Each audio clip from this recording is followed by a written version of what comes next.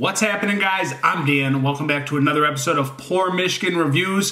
If you're sick of Arvon, you might as well just skip this video, guys, because we're dealing with more Arvon beer. It is another New England style from them. This is going to be the Double South Haven uh, I have never had this one before. I believe it's been around the block for quite some time. But again, new for me, so I'm going to break it down and review it for you guys. And I appreciate you clicking on the video. This beer is coming in at 9.2% ABV. And this is the double version of South Haven, a Lighthouse Series New England style IPA with Galaxy. Uh, and actually, that's it. I thought there was going to be more hops, but it's just Galaxy.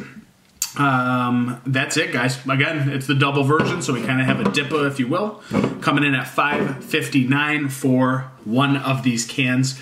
A nice little can art going on around this wrap. I enjoy this. So, guys, if you're tired of Arvon, I'm sorry, but they make damn good beer, and I have to try them all. So here we are trying another Arvon. Look at that hazy boy. I'm liking that.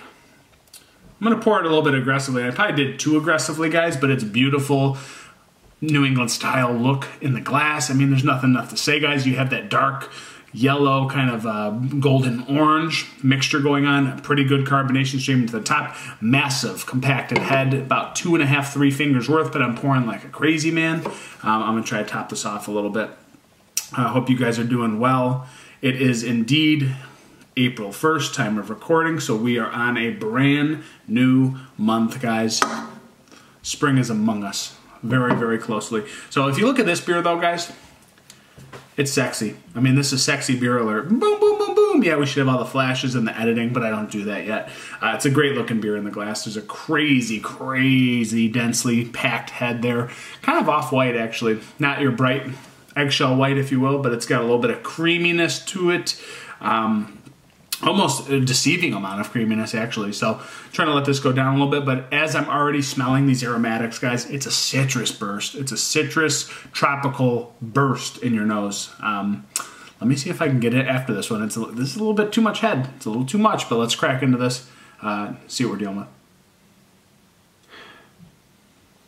A little bit of dry, earthy sweet pine. Just this amazingly sweet, sugar coated white bread. I mean, just it, this is it, wow. It's it smells mouthwatering actually, but it's got this big sweetness and juiciness to it. A lot of citrus, a lot of citrus. I get a little bit of like fresh squeezed lemon. I get a little bit of like uh, navel orange juiciness. I get a little bit of uh, that, that tangerine pithiness. A lot of grapefruit. And again, the signature Arvon, maybe a little bit of peach in there, guys. Uh, it is what it is. Let's dive in. It's the Double South Haven. Let's go for it.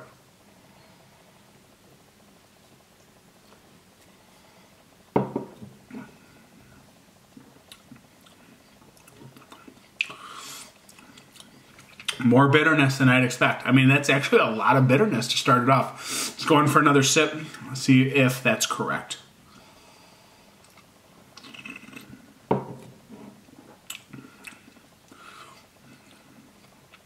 Wow. For as juicy and sweet that it is on the forefront, it dries out with this intense bittering on the back end. So much bitterness that I didn't expect coming out. It's got navel orange, kind of like almost um, blood orange, pithy skin, uh, grapefruit zest, um, grapefruit juiciness. Like you're literally cutting open a grapefruit, getting the spoon in, you're getting the skin, the seeds, uh, uh, all of that in one bite, just coupled with that lemon and tangerine and, and, blood orange. It's just, it's got all these qualities to it. A little bit of that stone fruit, maybe a little peachy thing underneath.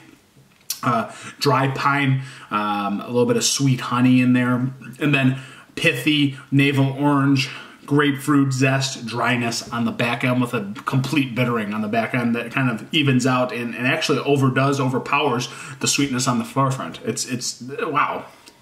You don't expect this kind of uh, bitterness or dryness on this uh, guys. It just seems like it's going to be overly sweet, overly juicy, maybe a lot of malt driven in here. 9.2% abv goes down quite easily. Reminds me of like almost a, a Short's beer with the bitterness coming out on the back end. Just uh, just really reminds me of a high ibu ipa it's just um, not what i expected but I, it's enjoyable. Like it's something I, I didn't see coming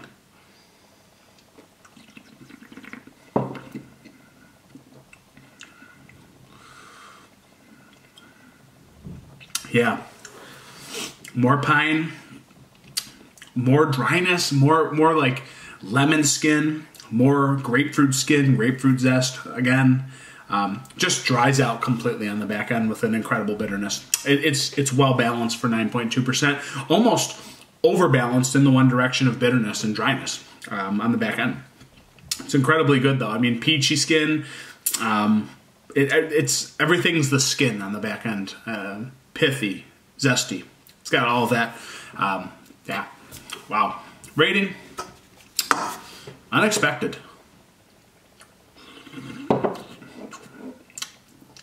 For as big a beer as this is, all those hazies that you see, guys, usually they're just way too sweet. This one reminding you and punching you with a big hop kick in and just uh, surprise that you don't expect. It's still an IPA at the end of the day, and they let you know it. 4.1 out of 5. It's a big beer. It's drinkable. Um, could have gone higher, but it almost is like so surprising I didn't expect it, guys, in, in the direction of bitterness and dryness. Still a phenomenal uh, DIPA from, from Arvon, guys. So, yeah, uh, 4 1 out of 5. It's been the Double South Haven. Thank you so much for joining me today, guys. Catch you on the next review. Cheers.